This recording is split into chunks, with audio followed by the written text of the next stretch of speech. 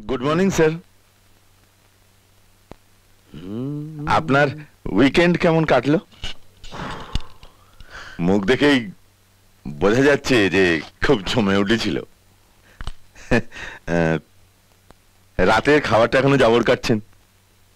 Sir এই সিডিটা একজন পাঠিয়েছে। আপনাকে দেখে নিতে বলেছে স্যার। হ্যাঁ? কে পাঠিয়েছে?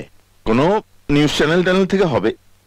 নিশ্চয়ই আপনার কোনো উন্নয়নমূলক কাজের রিপোর্ট টেলিকাস্ট করার আগে অ্যাপ্রুভ করিয়ে নিতে চায় দেখি চালাও কত জায়গায় কত কি করেছি সব কি আর মনে আছে ইয়েস স্যার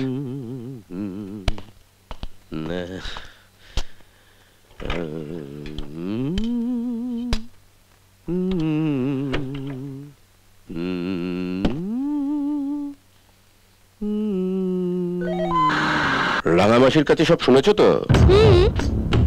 আমি এখানে আসা মেয়েদের নম্বর দিয়ে পাশ করালে তবে তারা পার্মানেন্ট হয়।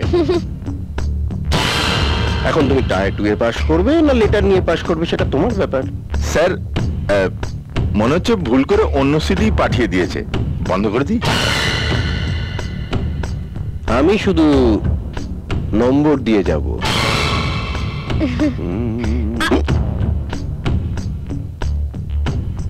দশ নম্বর পেয়ে গেলে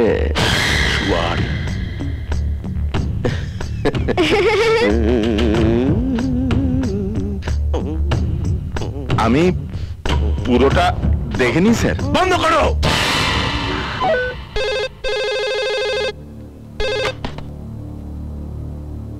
হ্যালো কেমন দেখলে তোমার নিশি যাপনের কাভারেজ কোনো ভুল নেই তো।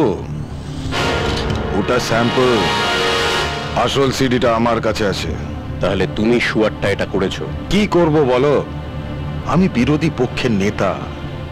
সরকারের শক্ত খুঁটিটা নাড়ানোই তো বিরোধী পক্ষের কাজ। তোমাকে মেরে আমি বিধানসভার দেয়ালে সেটে দেব শুয়ার তার আগে সরকার তোমাকে কোথায় সেটে দেয় সেটা দেখো। আজ সব কটা নিউজ চ্যানেলে এটাই হবে সবচেয়ে বড় খবর। স্বরাষ্ট্রমন্ত্রীর নিশি যাপন স্যার, এই কনফিডেন্সিয়াল ডকুমেন্টটা নিয়ে কি করব, স্যার? দ্বিতীয় হুগলি সেতুর মাথা থেকে মাঝ গঙ্গায় ফেলে দাও। আর ফাটাকেষ্টকে খবর দাও।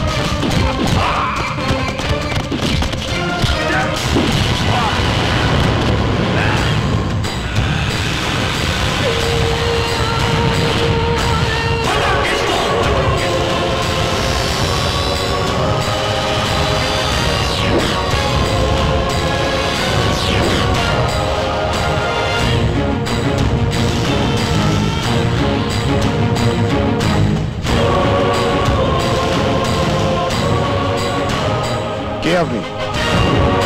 ফাটাকেষ্ট। গুন্ডা ফাটাকেষ্ট। আমি খবর দেখি না খবর পড়ি না। খবর তৈরি করি। সিডিটা কোথায়? কিসের সিডি ভাই? তোর বাপের সাধ্যের সিডি ভাই।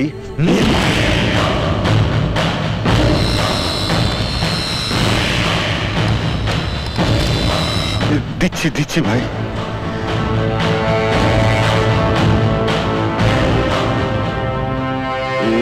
নাও সিডিটা। রণদেব পালের পছন্দ নয় এমন কোনো খবর দেখানো যাবে না।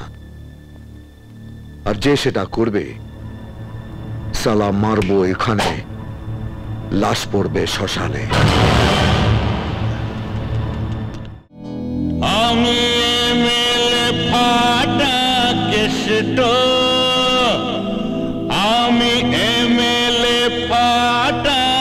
Mr.